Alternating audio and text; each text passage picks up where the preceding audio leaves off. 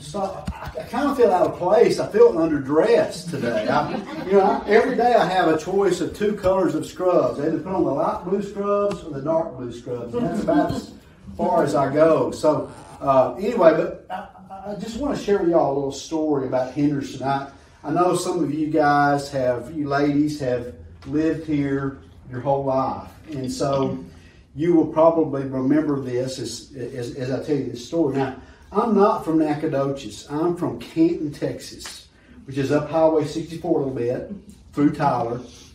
We call it the home of the world's largest flea market.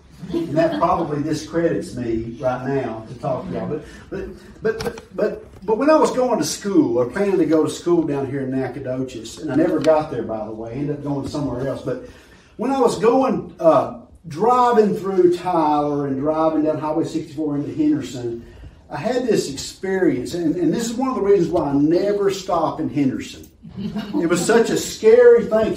Now, understand, in Canton, Texas, we didn't, we didn't have any traffic lights back in the day.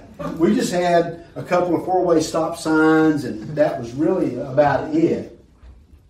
But then you, know, you go through Tyler and you go through all the lights in Tyler down Fifth Street, coming to Henderson, and then you come to this crazy thing that they call Circle. the circle. You- okay, so those of you old time Henderson folks, you know what the circle is. It's a, for those of you who are not from here, you know, it's, it's a little roundabout. And man, that was the most confusing thing I had ever experienced in my whole life going through that circle.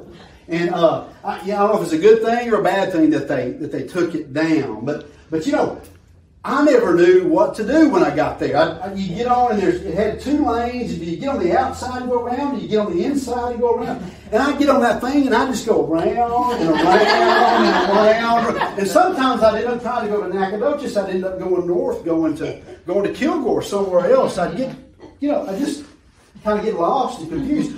I almost had a wreck one time and uh, almost got a ticket from a police officer there on the circle. So I just had a lot of anxiety, and I, I guess that's why I didn't go southeast down to Nacogdoches to go to college. I ended up going instead of going through the circle, I decided to go through Dallas traffic and go up north to uh, to Sherman. But anyway, but I did graduate from college. And I want to share y'all. So, and the reason, and, and the reason why, and I can actually read. I'm kind of intimidated too because I've got some math teachers here today. But but but but, but, I want to share with you kind of a concept, and and I think in our culture today, I think we're facing something very similar. This confusing kind of circle of ideas, this roundabout ideas, and I think so many people in, in our culture today, they can get lost and get misdirected, even wreck their lives based upon um, the way that people are thinking today.